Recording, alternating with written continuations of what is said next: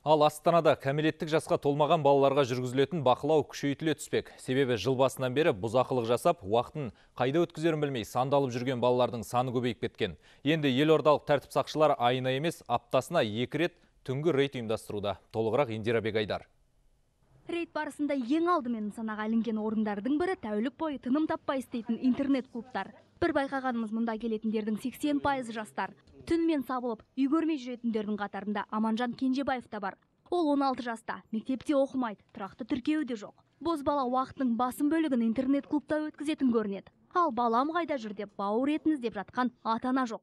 Аманжан өзінің анасының қайда жүргенінен хабарсыз. Я один хочу, дома скучно. Үйде менің ішім пысып кетті ал. Мына жерде маған ұнайды осында ұйықтап та аламын. Мұндағы адамдар жақсы қарайды маған. Ал құлқын ақша тескен кәсіпкерлер қандай ескерту алса да тіпті мың мыңдап айыппұл төлесе де жаман қылықтарын тияр емес. Олар өз клубтарына кәмелеттік жасқа толмағандарды айтпағанда құжатсыз жүргендерді де кіргізе беретін көрінеді. мен кінәмді мойындаймын. Құжат тексермей жібере салдым.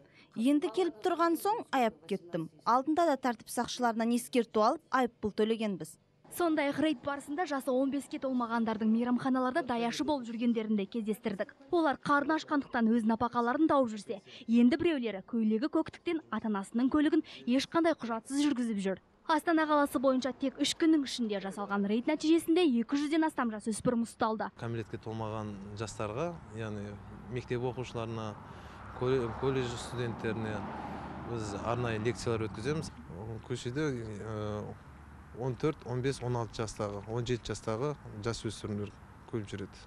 Ата-аналардың көпшілігі кәмелеттік жасқа толмағандардың үй бетін көрмей, көше кезіп жүруіне қоғам кінәлі деп санайды. сұранып кетті общага общагаға барам деп түндетем сонда сонда ағам ағам тұрады ағамның үйіне барам деп.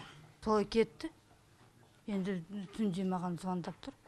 Аптаның демалыс күндерін айтпағанда, жұмыс күндерінің өзінде жасөспірімдер түнгі клубтарда өріп жүреді. Ал арнайы түнгі рейдтер нәтижесінің қандай болатынын уақыт көрсетеді. Индира Бегайдар, Қазбек Манбаев, Қазақстан ұлттық телеарнасы.